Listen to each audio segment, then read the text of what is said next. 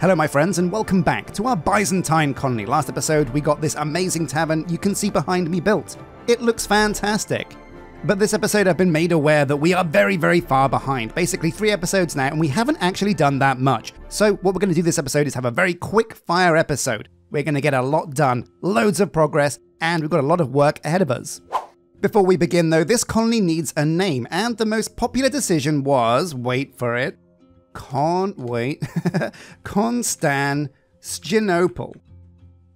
There we go. So that's what the colony's called. Thank you for all your comments suggesting some names. There were some real humdingers. Some of you wanted a Greek name. There were some amazing decisions, but democracy wins. Constantinople is what was voted for. That is a terrible name. Well, Dunny, your name literally means toilet.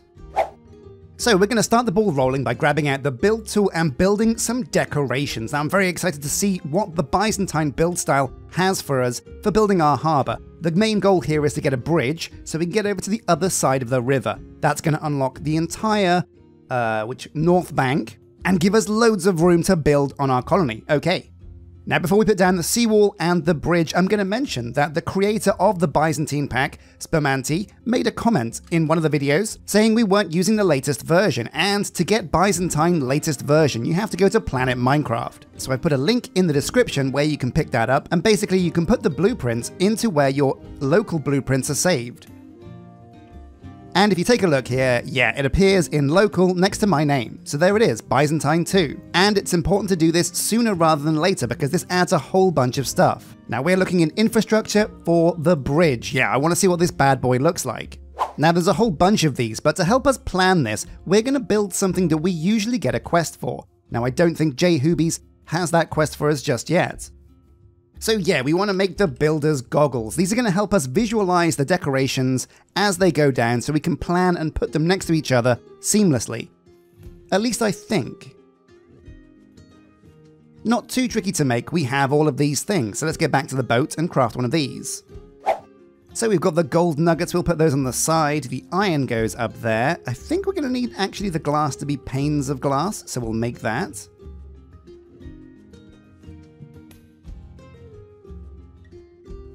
There we go, and we should have all the bits. Copy this over. Boom, the builder's goggles. We'll slot these on and see what this does. So with the builder's goggles, we can basically see what buildings will look like before they're built. So that should, in theory, make making decorations much, much easier. But we're going to take a look at all of the bridge sections from the top of this ship to see if we can plan this out. So this is a bridge main pier, but as you can see, there are a lot of options here. Now you can start with wood, which might be a good place for us to start, but no, it's not a good place for us to start because we want a really impressive looking colony as soon as possible. And I think this is mostly deep slate, diorite, and granite, which we have loads of, so this shouldn't be unachievable. So I don't think we want a pier, that's not what we want just yet. What we might want though is a span. What's this? Ah, now this is where things get a bit juicy. This is a big old bridge, look at this mother trucker. There's also a ramp to span. Okay, right, so you can start low and get higher. There's a ramp to span foot, so if you wanted to go deeper into the sea or the river, you can do that. Ramp to span rise. Ah, yeah, stilts. Amazing. There's a ramp start. Whoa. And a ramp steep. If you got a big bridge, if you want to have like quite a high bridge. And I think we might want to do that. But we're going to connect the bridge to a wall. So let's go back and take a look at some of the walls. So we're looking for harbour, seawall, and here we go. So there's the long. Swivel that around. Okay, right, so the seawall actually comes right up against the sea. It doesn't actually climb that high. There's a short version for when you just need a little bit. There's a T section. Ooh. Now the British inside me is screaming for tea, but uh, actually I'm more of a coffee man. There's also a dredge section, so if you want to make your own body of water, you can have your builders do that. Crazy. Corner outside, corner inside, corner diagonal, and uh, wow, some big diagonal bits. So let's take a look at the size of this bridge, because I'm wondering if this length here is the same length as the length along there on the town hall. That'd make things very nice and neat and easy. And easy isn't something Minecolonies usually does, so moment of truth. No, it looks like that doesn't quite match up, but we can make it one wider, and well, yeah, that's close enough to matching up. So we'll push this over this way. Now we don't want a shallow ramp, what we want is a steep ramp. So let's go and find that, infrastructure bridge, main, and we want a ramp steep. There we go. Now this is going to be much more manageable for us. So we have a nice position for the bridge, but before we even put this into position, we're going to have to do a road that connects it. Now some of you guys suggested that we have a grand plaza outside the town hall, and I'm not sure, we don't actually have that much room this side of the river. I think maybe the other side of the river is a good place for the plaza, so we'll save that for there. What I reckon though, we'll have a road that goes up to this bridge and a seawall down the bottom. But the roads that come with Byzantine are a bit small, so I think what we're actually looking for is an avenue. Yeah, here we go. This is a big beast, but I reckon it's worth doing. So the first thing we want to do is plan ahead. We're going to have a straight avenue that comes all the way along here, along the coast, and the other side of that avenue is going to be the seawall, which I think we're going to use retaining walls for, because it looks like they look a bit neater. So we'll bring this over here. There we go, looking pretty good. And we can put trees inside these dirt bins as well. Maybe mahogany to make things look nice. Now we're going to equip the builder's goggles, press go on this, tick, and assign it to Jay. Sure, why not? Now, because we're wearing the builder's goggles, can we see the building? Look at this, amazing, yeah. So the builder goggles work, and now we can plan the decorations properly. This is gonna look amazing. And it's also really cool because now you can see what it will look like eventually as well. So, with the, the first part of the bridge in position, let's try and put some of the struts down. But do you know what? Before we finish this bridge, this is all going to be way too much work for only one builder. So it is time. It's only the fourth building, but it's going to have to be done. We're going to have to get a second builder. So let's go and grab a builder's hut from the boat.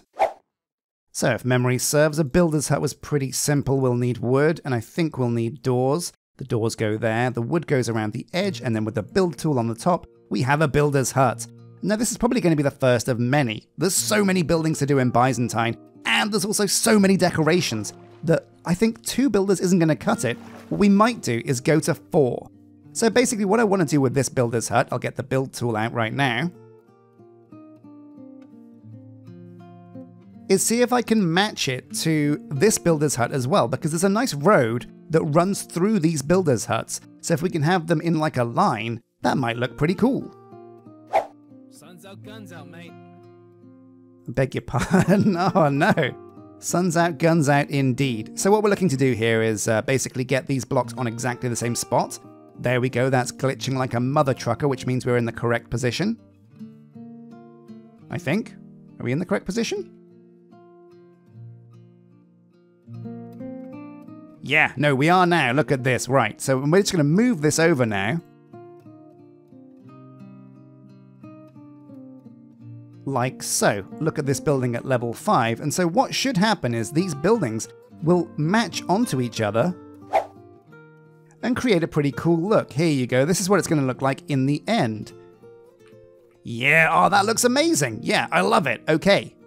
So remember this, you can build a builder's hut at any time you don't need to worry if your existing builder has a lot on his plate. So it was gonna be Nikki Bravin before, but we went for Jay because Jay's a man. And long live the patriarchy, am I right? But it's time to smash that glass ceiling and get Nikki on the case, boom. Because it's her time to shine. So let's put down one more avenue over on this side of things. Avenue, and we're gonna go for straight,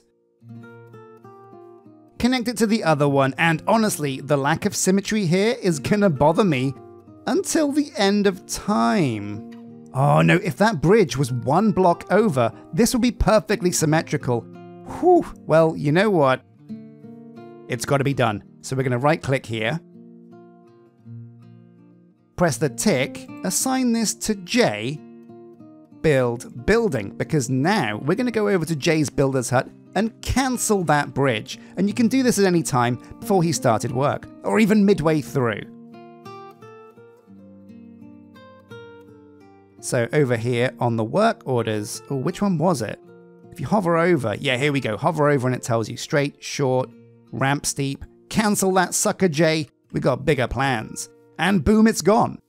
Oh man, so useful. So what I want to do is a whole video dedicated to builder tips and tricks ways you can speed up your builder, little things I wish I knew before I started. Basically, a one stop guide that'll help you get going and work out how to get the best and most from your builders. So here we go. Now the avenue is in position. We can plan where this bridge is going to go. And look at this. The bridge lands perfectly between two long sections of avenue and one short. That's amazing. Okay, so we'll sink this down, and that's going to be the spot. So what about a straight up span? What is, oh yeah, now this is what I'm talking about. I think this is what we want. It's not quite big enough for our boat to get through, but it looks a lot neater and tidier. So let's shift this into position and make sure it all lines up. Oh man, this is going to be amazing. Boom, I reckon that's good, so we'll tick on that. So let's see what the pack has to offer, but man, Spumanti, you are a genius. I'm in love with your Byzantine style. And if you've watched this far into the video, I want you to put in the comment section a huge thank you to Spumanti for the amazing job he's done on this pack.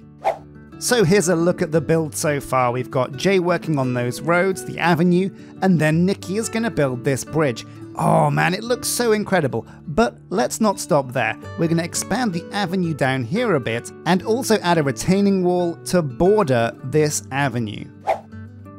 Okay, so this is what it's going to look like when it's complete. This is going to look really, really, really cool. It does mean we're going to have to start getting our other buildings up in the levels sooner rather than later, because I really want them to match the style that we have going on with these avenues and bridges, but this looks crazy incredibly good.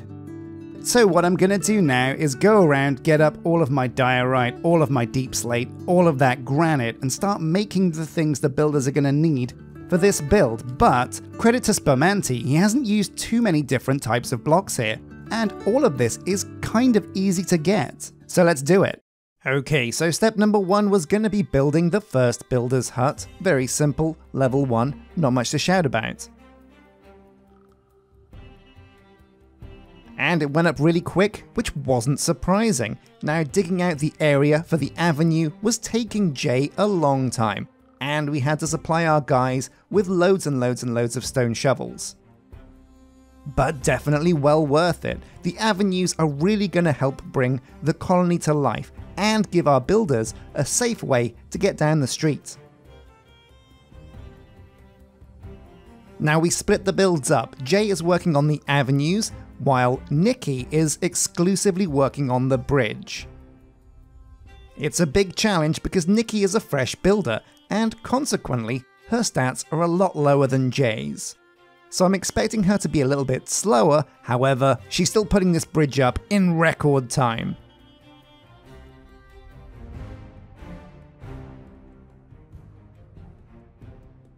In fact, I think she was even finished before Jay, so now we come around here, near to the boat, and we can see Jay just finishing up those last final two bits of avenue.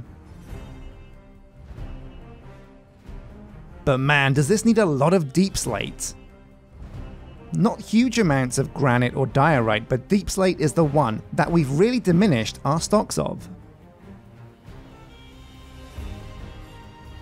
And now to finish it off, the side walls on the avenues. Now I used the retaining walls, which you can also find in Byzantine decorations, because I think they have a better feel than the sea walls. So here we go, the almost finished bridge and the avenues. Now check this out, the avenues have a really sweet sewer system underneath. So yeah, that looks pretty amazing if I do say so myself, but we've got a big problem now. We've run out almost completely of the materials we used to make these walls, roads, and bridge. And that's not a problem, it was going to happen at some point. But it's time for us to finally confront the demons of limited storage. So we're going to be doing two things to make sure we've got loads of storage going forwards. What we're going to be doing is, we can't get a computer yet. Computers are pretty high end. What we're going to be going for instead is some functional storage drawers. They're very cool. There's a whole bunch of them. They come in all different colors, shapes, and sizes. You can upgrade them, and later on you can link them to a computer, so we can still keep the storage space. But they're a very visual way of being able to see what you have in your pack. And we're also going to be upgrading the Dank, because while this is great at level 1, it can be even better. But to do that, we're going to need 8 blocks of redstone, and that's not a small amount. So I'll grab myself some sticks and make myself some iron picks, I reckon 3 or 4 should do. It's always worth making loads of pickaxes out of iron because you're to get loads when you go on a mining trip anyway. So I've got this, I've got my dank, I've got my backpack as well. Loads of space. But wait, I think there's something else we can do. We can probably upgrade our backpack as well. So we go into the crafting bench, we put the backpack in here, we surround it by iron ingots, and then we have the iron backpack. We surround that with gold. Now we have a golden backpack. Let's put it on our back, boom, and see what this gets us. Oh my god, loads of room, and also extra upgrade slots. But these upgrades are kind of expensive. Golden carrot, golden apple, ender pearl, glistering melon. Yeah, some of them are less expensive, but oh my god, yeah. Nothing worth bothering with at the moment because it's primarily for storage. So we've got the backpack, the picks, the dank, loads of space. Let's go do it. We're going to go into the mine and go hunting for redstone. So looking for redstone, but we're so speedy with our new boots as well that we can kind of ignore monsters. Just dig up stuff and go before anything can touch us. Now what else is on our shopping list? Well, kind of everything. Lapis lazuli is very valuable. Also, while we're here, we use a lot of deep slate, so let's just grab a bunch of that too. Oh my god, diamonds. What a day to be alive. Get in my backpack. Oh wow, look at this stuff. So raw redstone from GregTech, if you put this in a smelter, each one becomes 5 redstone dust. That's crazy. And in that case, we've definitely got enough redstone now. Look at this. So time to head up top. So where are we going to put these storage drawers? Well, I'm going to empty these racks. Ooh, eat this cake. Why not? Oh, delicious. Nothing better than cake for breakfast. And we're going to put the storage drawers in a big section over here. They're going to create loads of storage space for us. There we go, goodbye racks. Now we don't need to worry too much about wasting these racks. Yes, they're free storage right now, but we can always use them in future builds. Almost every building requires a, a rack at least in its inventory, as well as its building requirements. So don't worry, these racks are going to go to good use. And there we go, a massive space. Okay, now to craft us some drawers. Now we'll put the chests in these corners and fill these other blocks with wood. And boom, oh wow, yeah, you get four per craft. So time to put these drawers up against the boat wall. There we go. Oh yeah, this is going to create loads and loads and loads of space for us. Oh my god, and each one of these small cubes can hold, I think, about 500 of one item. So, thinking about the important building materials here on the colony, that's going to be loads. But why stop there? We can do better. We're looking for the long game here, so we'll make some copper dust, smelt that up. So, while that's smelting, let's take a look at functional storage. And here it is. This is the mod. This is everything you can do. You can have 2 by 2 chests, you can have two drawers, or you can have just a solo drawer for storing one particular item in big quantities. You can also have compacting drawers, and if you want to, you can even store liquid in a drawer. Not very realistic. I can't remember the last time I put a handful of water inside one of my drawers, but you know what? If you can do it in Minecraft, why not? There's also upgrades, and that's what we're talking about. We're going to start with the copper upgrade. It multiplies the block item storage by 8, 8 times 500, that's 4,000. That's amazing. Copper upgrade, boom, there we go. Now let's see how this works. If we right click on one of the chests, and for the sake of making things nice and neat, we're going to start at the top left, right click here, and you can see in the bottom left, there's a little copper card. That means this drawer can hold loads more items. So we make some redstone blocks. Here we go, 1, 2, 3, 4, 5, 6, 7, 8, 9. Let's just make all of it into like redstone blocks because it's a good way to store redstone. Now we take the dank, surround it with this redstone, and there we go, the redstone, dank 2. The next upgrade is gold blocks, and that's a little bit pricey for us right now, but even the dank level 2 can store thousands and thousands of materials. So, with that in mind, we have a goal. We're completely empty on the big time supplies. Let's go on a big old trip to gather the very core essentials of this mod. So, once again, my friends, it's that time in the episode where we slow down, take a breather, and this episode has been so progress heavy that I think this is pretty needed. So, the core materials, like I said, it's granite, deep slate, andesite, and diorite. I know that there's granite over here in this Badlands biome, and that's also probably a great place for us to find andesite, but we should keep our eyes peeled on this exposed rock as we're floating down the river because you never know when you might find a rogue vein of andesite.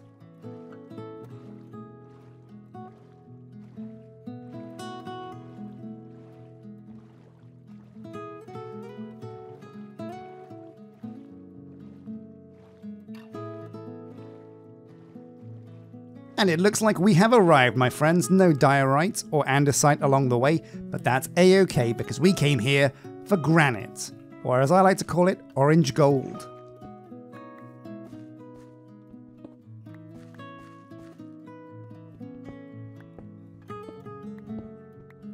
Yeah, look at this. So, how much granite does this thing hold? 877, and it's still not full. Basically, the dank, each one of these slots can hold 1000 of a certain item, so it's actually really crazy.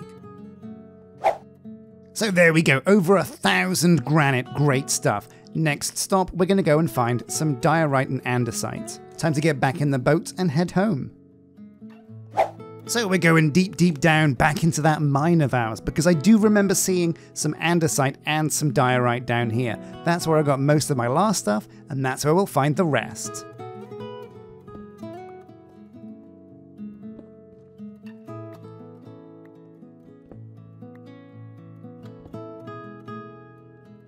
Look at this 1,800 cobbled deep slate, 1,300 andesite, 1,100 granite, and yeah, over a thousand diorite. We're good to go. So here we are back at the boat. We return, and in great time. So let's put these items into this copper enhanced storage drawer. And the dank is almost empty these last few blocks into this final drawer. There we go. Massive storage. Amazing. And we're going to want to save the rest of these drawers for things we're going to get a lot of, like, honestly, some of the woods. So that brings us around to the final quality of life update we're going to go through in this episode, and that is going to be hopper botany pots. Here we go. Now we'll put these over on the left because it's going to make them easier to craft. Boom. Now, how do I do this again? Yeah, there we go. We'll need four of these for the four core trees that we're going to use. But you know what? Might as well make a fifth. Put these in the middle, put the terracotta around in a V shape, and there you go, you've got some botany pots. Now, this is where things get expensive because we need to make a hopper. Oh, let it grow. So to make a hopper, actually not too bad. We're going to need chests in the middle and then a V shape of iron. So lots of jungle planks make these into chests, thank you very much. And then the V shape of iron. Here we go. Now, how many of these can we make? Four. Well, you know what? That works. Four of these mixed with the hopper pots. And we have four botany hopper pots. Amazing. What's the quest reward from that? Let's find out. It is another hopper. Okay. Don't mind if I do. In fact, we can make that final hopper pot now a botany one. So yeah, I like the idea of keeping on theme here, so we're going to put the botany hopper pots up on deck because trees need light to grow. Doesn't make any sense growing trees in your hold, even though we could. So we'll find a spot over here. I reckon this looks perfect. So down go the storage drawers. We're going to put one here, here, here, and here. And I hate to ruin the decoration, but we're going to get rid of this grindstone and the log in the middle because it's going to make moving around the boat a little bit easier. So we're going to put the hopper pots on top like this. Very nice. Next up, we're going to have to use our shovel to find some dirt. Because of all the things I don't have, it's dirt. So here we go. Starting on the left, we're going to put the spruce in there. Just the one will do. Next up, we're going to put oak there. And in the final pot for today, we're going to put jungle. And I'm sure what we'll put in the fourth pot. Birch isn't really used that much in this style but it might come in handy later on, so maybe birch is the one. But for now, these trees will grow and give us all of the materials we need. But we'll leave it to brew because there's one more thing I wanted to do this episode, and that's going to be to upgrade these builders' huts and the town hall. Basically, one thing I don't like at the moment is how amazing this bridge and road looks compared to these shanty town, dirty old oak and spruce shacks we have going on over here. It's just so ugly. These things should at least be stone. And considering I spent so long just now gathering all the bits we need to upgrade stuff, it's time to take a look at what they need to get to level 2. So the Builder's Hut level 2, it needs a few cream bricks, and I think we have some spare, some cream and some beige, a tripwire hook which we can make again, no sweat, item frame, that'll need some leather, spruce plank shingles, a cauldron we have iron for, scaffolding we have the bamboo for. Yeah, you know, after our recent trip, all of this seems very reasonable. I can go and grab this stuff. But the big question now is what does the town hall require? Okay, so this is not so simple. This requires 245 cream bricks and also a lot of beige bricks. Everything else very simple to grab, but it's the cream and the beige bricks that are going to be a bit of a tricky one for us right now. Okay, right, and now it all makes sense. This is why the game tells you you need loads of gravel, because it's gravel and the clay bricks that make the beige bricks. But what about cream bricks? Aha, so with cream bricks, it's sandstone and bricks, and obviously sandstone is just a whole bunch of sand compiled. Well, our diamond shovel thought he got away with it, but he hasn't, so we're gonna go and grab ourselves as much sand and clay as we can find. Now, I don't want to ruin the river around our colony, so I'm not going to be digging around here for it. I'm just going to go a little bit further down river. Actually, no, I'm going to go up river, up over here, and we're going to grab some clay, some sand, and some gravel.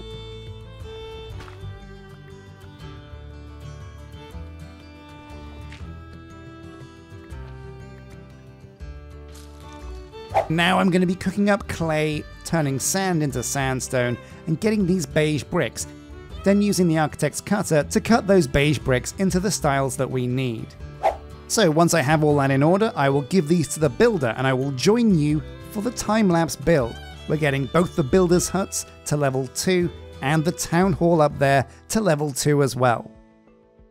So the moment of truth, the race is on. Who's the fastest builder? There's only one way to find out. It seems like it shouldn't really be a competition. Jay's stats are actually much better.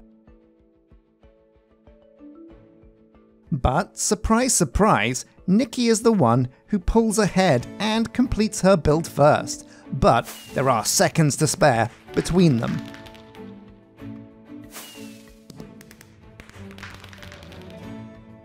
And now moving on to the town hall. But before we go and build the town hall, we have to swoop down this river. There's one piece of the puzzle that we're missing. The town hall will need a bell. And why not pilfer this village's bell? Because these suckers won't be needing it. And here we go. Now, again, the town hall is huge, and I'm not sure why I thought this would be a quick upgrade. I think this thing in total took about one and a half hours, and that's just upgrading from level 1 to level 2. I shudder to think how long it's going to take our guys to build the university and other big builds of Byzantine. But it's well worth doing. Getting these buildings up to stone level at least, so we have some of the beige bricks, is really going to help them pop and match up with the avenue and bridge style we have going on. Now, I'm not quite sure actually what to put in these grass tubs that are on the avenues, so if you have any ideas at home, put that in the comments section.